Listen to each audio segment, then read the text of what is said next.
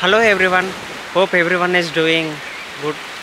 I just uh, came to Tithal beach in Valsad Gujarat.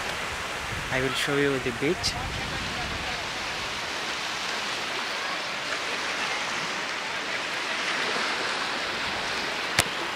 The beach is awesome. It is winter season but uh, the weather is sunny so it makes the beach uh, very beautiful to stay so i'm just relaxing here. Thanks for watching